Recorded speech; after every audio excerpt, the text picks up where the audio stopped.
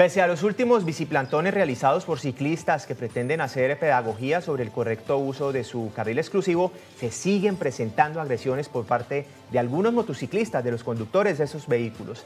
Alejandro Castrillón, muy buenos días. Usted se encuentra en uno de los puntos donde se presenta esta situación. Cuéntenos, por favor, dónde está y qué dicen los usuarios sobre esto.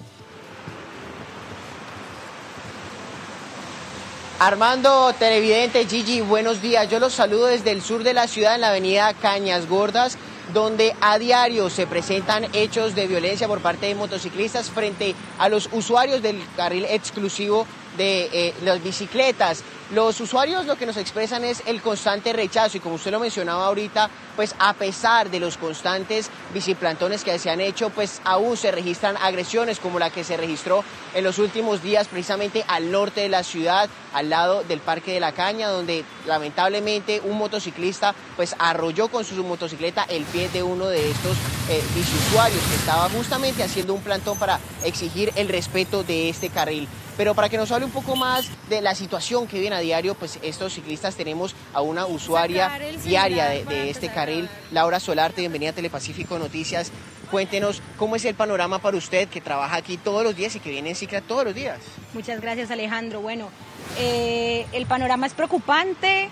Eh, las denuncias se han venido haciendo en las últimas semanas, bueno, se han venido haciendo en los últimos años, pero en las últimas semanas con mucha más constancia la, iniciativa de los biciplantones, eh, por supuesto, surgió de un grupo de colectivos que nos hemos denominado Ciudadanías en Bici, ah, pues con la intención precisamente de, salvaguardar los bicicarriles exclusivos en los que se movilizan eh, no solamente deportistas, no ciclistas que lo hacen por deporte, sino ciclistas urbanos que todos los días van en la bicicleta a su trabajo, que a veces ni siquiera tienen la posibilidad de contar con todas las medidas de seguridad y que niños menores de edad, eh, adultos mayores, son todo tipo de ciudadanos que eh, pues realmente es, es, su única manera de movilizarse, entonces lo hacemos por la integridad de todos, de todos los ciclistas urbanos.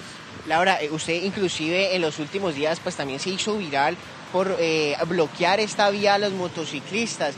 Eh, ¿Cuántas agresiones recibe usted a diario o cuántas veces ve usted en esta parte de la ciudad que, se presenta esta invasión? Bueno, eh, la verdad es, es, curioso, ¿no? Que además de que estás irrespetando una norma, que es lo que sucedió pues con el ciclista en el último con el motociclista en el último biciplantón, además de que estás irrespetando una norma, entonces te molestas cuando te exigen que la respetes. Por supuesto, no tendríamos que ser nosotros los, civiles, los encargados de hacer que estas normas se respeten, eh, pero realmente Secretaría de Movilidad ni ningún funcionario correspondiente se ha pronunciado.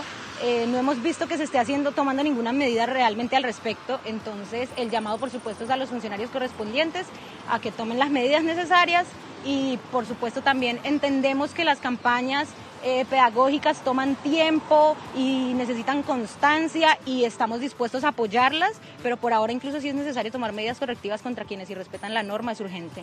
Listo, Laura, muchas gracias. Pues mire, para cerrar yo les quiero compartir dos datos importantes. Según las cifras de movilidad, en el año 2021 se registraron 21 ciclistas fallecidos en distintos puntos de la ciudad, mientras que a la fecha, durante este año, van cinco decesos. Y también otro dato que es importante resaltar es que en Cali, en la capital vallecaucana, existen 230 mil motos y alrededor de 160 mil bicicletas. Esta es toda la información que les traigo desde el sur de la ciudad. Continúen ustedes con más en estudio.